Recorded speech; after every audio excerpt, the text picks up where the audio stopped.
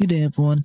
If you're looking for a way to play the latest Legend of Zelda Tears of the Kingdom game into your PC, then this is a perfect video tutorial for you to watch today because I'm going to teach you where to get all the files, how to install them, how to optimize them to run your PC perfectly well. So these are all the files that you need. There are only three files and also that you'll need to install an app called Ryujinx Emulator. So for those who don't know, Ryujinx Emulator is a Nintendo Switch emulator that can play Nintendo Switch games so long as you have installed all of these files here into your Ryujinx emulator. Without these files, Ryujinx cannot play Switch games. So I'm going to be hovering down here and I'm going to show you that I have Legend of Zelda Tears of the Kingdom and it's a 16 GB file size game and it runs quite well in PC. So first of all, I'm going to teach you where to get all of these files.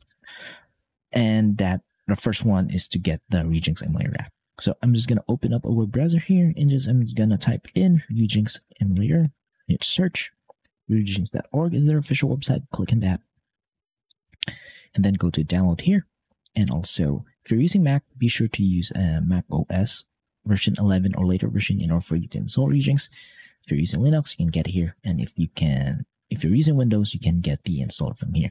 So since I have already installed uh, the latest build of Ryujinx into my PC, I'm just going to skip on the download and installation process of this because this is really easy to do and is really straightforward and anyone can do this. I'll just show you guys where to get the official build of Ryujinx emulator. So I'm just going to minimize this and I'm going to assume that you have already installed Ryujinx emulator.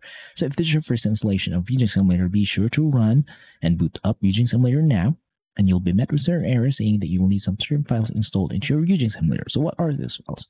So those files are the Nintendo Switch firmware and the Nintendo Switch keys. Both should be in version 16.0.2 in order for it to run and play The Legend of Zelda Tears of the Kingdom game. And this game should be in XCI file format. And again, if you don't have these files, Ryujinx emulator will not be able to boot up and play Switch games. So if you're asking me where to get all these files, Legally speaking, you can only get these files if you own a Nintendo Switch console, which is modded and has a custom firmware installed in it. Because if it has a custom firmware installed in it, that means that you can access your Nintendo Switch system files. And once you have access on those system files, all you need to do is to copy all the firmware files and the keys files from your Switch to your PC. And in order for you to get the Legend of Zelda Tears of the Kingdom game, there's no other way to do this but you purchase the game, you buy that game, have a physical copy of that game, support Nintendo, and then uh, once you have that game, you can now digitally backup the game into an XCI file format, just like mine here. So if you have a Switch and don't know how to mod or install a custom firmware in it and do the things that I've said, or you don't own a Nintendo Switch at all but want to play this game, then I'm just going to say video hassle and teach you where to get all those files. So in order for you to get all of this files here, I'm just going to leave a QR code here and you can scan it with your QR code reader into your mobile phone so that you will be redirected to the page where and you can get all of this files. So once uh, you are in that page, be sure to do hover down into the bottom part, I mean, in the middle part of the website so that you'll get the XCI file format of Legend of Zelda Tears of the Kingdom. Once you have that, hover down into the bottom part of the website so that uh, you'll get the firmware and the keys files from the Switch. So be sure to check out the entirety of the website so that you'll get all of these free files here. So since you use your phone to scan and get onto the page to get all these files, just transfer them to your PC using USB cable. So I'm going to assume now that you have already downloaded the files and that you have a copy of it in your PC. It's time to install them to Ryujinx. To do this, just go to Ryujinx, go to File, open your folder, locate your system folder here, and then open a key zip file file here and then just drag and drop or copy and paste this files into this folder. This folder should be empty because it's your first installation. Close in this folder. It's time to install the firmware from the switch. Go to tools, install firmware, install firmware from XCI zip file. Open that. Click on the version firmware here. Open this and it will say that we'll have to install this firmware file and hit yes. And once done, system version 16.0.2 is set to be installed.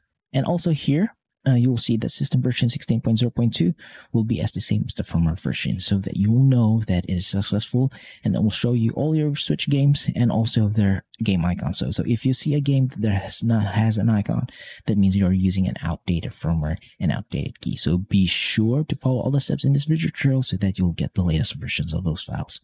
So uh, the next step now is to optimize your Ryujinx emulator to, so that you'll be able to play Tears of the Kingdom game. So to do this, just go to options, go to settings, and in this part, just pause in the video and copy every setting that you see from here on out. So in the game directories, uh, uh, this is where you'll put your Nintendo Switch games. It could be anywhere into your PC as long as you know where it is. And the Switch games should be in XCI or NSP file format in order for Ryujinx to detect that game. So as you can see here, I have the XCI file format of Legend of Zelda here, and that will be detected. Now go to input. Is you disconnect your controller here because it's really uh, better to use a controller with a mouse and keyboard and playing Switch games. Go to player one and configure and locate your controller. Mine is a Nintendo Switch Pro controller and I've set them up the same as the Switch. But if you have a PlayStation or Xbox controller here, you can just map them up according to your liking. But the dead zone should be in both left and right stick should be in 0.20% so that there will be no drifting into your playthroughs. So once done, it's safe. Now go to system. So just pause the video and copy every setting you see here. Now I'm going to go to graphics tab. So this is the most important part. So be sure to copy everything too. So the graphics backend off threading should be on. Graphics backend API should be Vulkan. Your preferred GPU should be your dedicated graphics card. In the enhancement, uh, you should enable shader cache and enable macro HLE. Resolution scale should be in two times resolution because that will make the game look much sharper and much more beautiful rather than the native resolution of the Switch. But if your PC can't handle that, then revert to the native resolution. But for me, 2 times resolution is the best. Post-processing effect should be none. Upscale bilinear, isotropic filtering should be auto, and aspect ratio should be in 16 by 9. And once done, hit apply and save.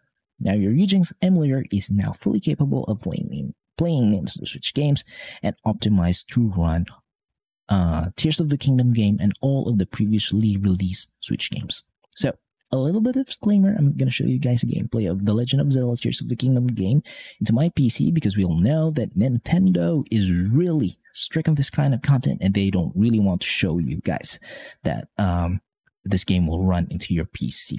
So if I show you guys that uh, gameplay of this running to my PC, then my channel will get into trouble. My videos and my entire channel will be taken down because of Nintendo.